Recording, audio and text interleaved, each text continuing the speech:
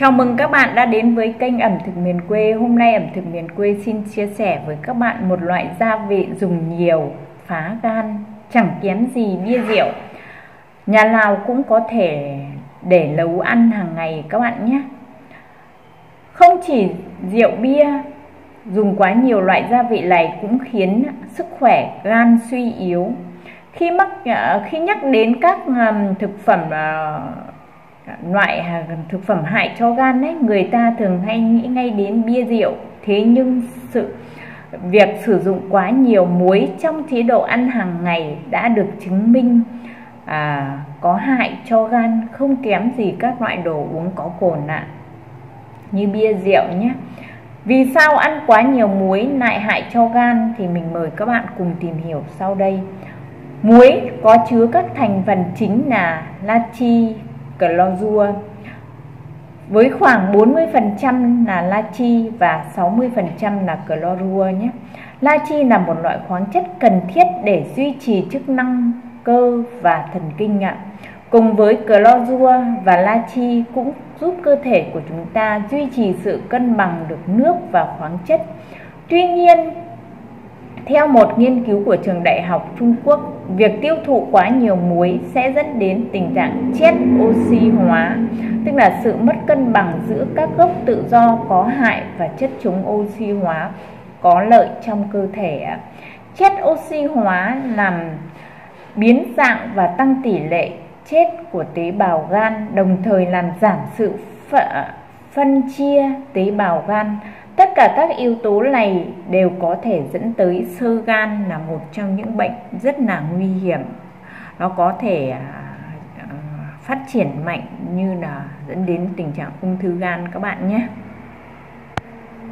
Đây các bạn, đây là muối biển, muối hải âu, muối iốt các bạn nhé. Chúng ta thường hay dùng nấu ăn là muối này hoặc là chúng ta có thể dùng một loại muối. Đó là muối hạt này các bạn nhé. Các bạn biết rằng Việc tiêu thụ quá nhiều muối có thể gây tổn thương cho gan và sơ gan ở cả người trưởng thành và uh, như người đang phát triển các bạn nhé.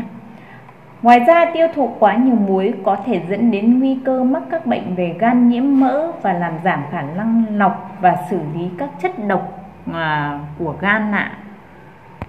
Theo các tổ chức y tế thế giới, lượng muối tối đa của một người trưởng thành có thể tiêu thụ là 5 gram một ngày, tương đương với một thìa nhé. Thìa chỉ là thìa cà phê thôi các bạn nhé. Những tác hại của khi chúng ta sử dụng quá nhiều muối thì có thể gây ra rất là nhiều tác hại theo tờ báo Hai nay nhé. Thì uh, thứ nhất là cái tác hại là tích nước các bạn ạ. Bạn có thể cảm thấy sưng, phù lề ở tay, chân và tăng cân nhẹ do thận giữ nước để duy trì sự cân bằng lượng natri dư thừa mà bạn đã nạp và tiêu thụ vào trong cơ thể ạ. Thứ hai là gây khát nước. Bạn có thể cảm thấy khô miệng hoặc khát nước sau khi ăn một bữa ăn nó mặn quá thì chúng ta hay thấy khát nước nên phải đi uống một cốc nước thật to để giảm cái tình trạng khát nước các bạn ạ. Thứ ba là tăng huyết áp nhé. Các nghiên cứu đã cho thấy rằng chế độ ăn quá nhiều muối sẽ còn tăng huyết áp. Nguyên nhân là natri có trong muối làm tích nước trong cơ thể và làm tăng thể tích máu các bạn ạ. Khi thể tích máu tăng lên, áp lực nên thành mạch máu cũng tăng theo, dẫn đến tình trạng tăng huyết áp. Ngoài ra la chi còn có thể làm giảm khả năng co giãn của mạch máu và làm cứng các mạch máu, từ đó làm tăng huyết áp dẫn đến tình trạng bị huyết áp à, tăng đột ngột hay là huyết áp cao. Thứ tư nữa là là tăng nguy cơ uh, ung thư dạ dày các bạn nhé.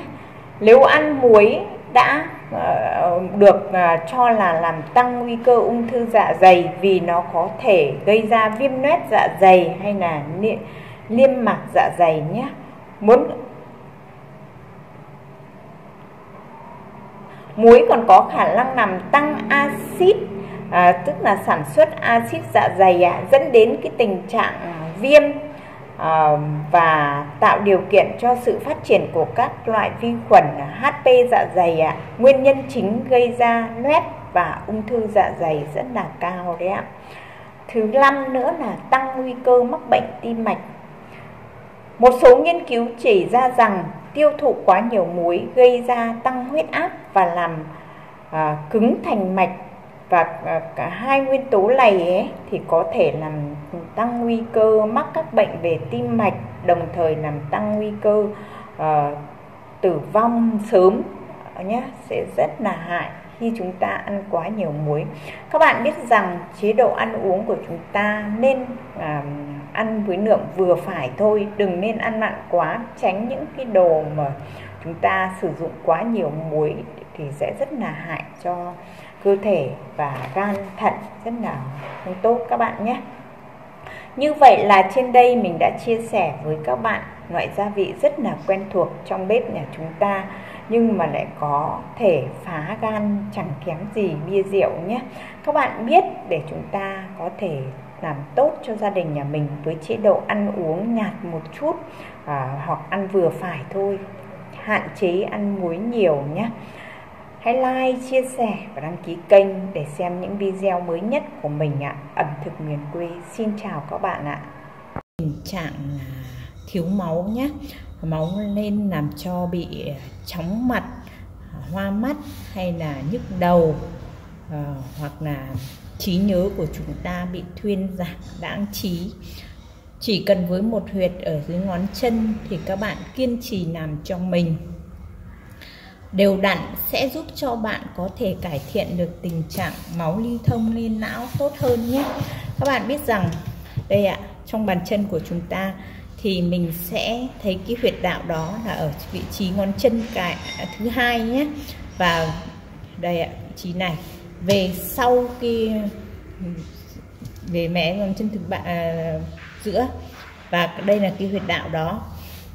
Đây được gọi là huyệt lệ đoài các bạn nhé lệ đoài. Các bạn sẽ dùng cái bút này các bạn di cho mình từ 3 đến 5 phút. Di cho nó đau một chút các bạn nhé dùng bút này thì nó sẽ không có cái cảm giác là chúng ta bị vật sắt đâm vào. Nó sẽ an toàn hơn. Và chúng ta cứ di như thế này. Từ 3 đến 5 phút đau một chút thì chúng ta sẽ thấy được um, máu sẽ lưu thông cho chúng ta rất là tốt hơn nhé.